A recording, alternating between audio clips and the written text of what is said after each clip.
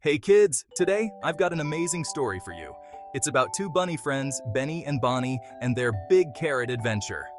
One sunny day, Benny and Bonnie were hopping around their favorite meadow.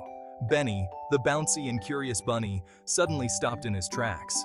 Benny, excitedly, Bonnie, look at that carrot! It's huge! It's, it's the carrot of my dreams. Bonnie, being the smart but cautious bunny, tilted her head and looked suspiciously at the giant carrot. Bonnie, tilting her head suspicious. Benny, that's the biggest carrot I've ever seen.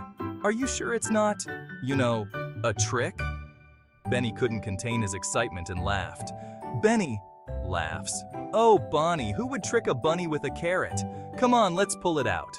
We'll have carrot stew, carrot pie, carrot smoothies. Bonnie raised an eyebrow, but decided to help Benny.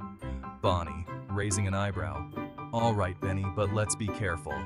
Together, they grabbed the carrot top and pulled with all their might. They pulled and pulled, but the carrot wouldn't budge. Benny's ears flopped as he struggled, and Bonnie's nose twitched as she pondered.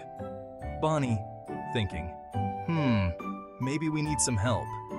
Just then, their friend, Sammy the squirrel, scampered by.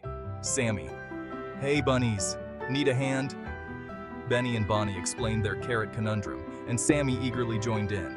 With a third pair of paws, they all pulled together. Benny, on the count of three. One, two, three.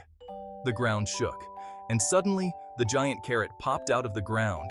The bunnies and Sammy tumbled back, laughing at their success. But wait, out of the hole popped a little mole.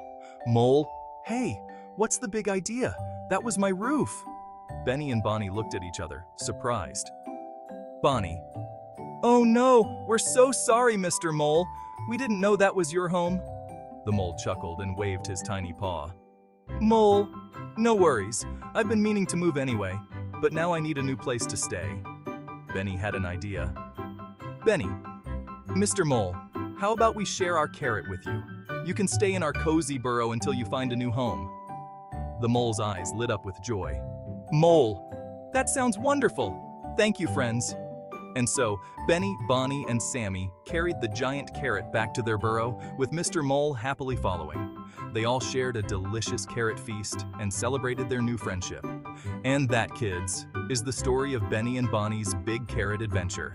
Remember, sometimes the biggest surprises come with new friends and new adventures. See you next time. Bye! Music fades out.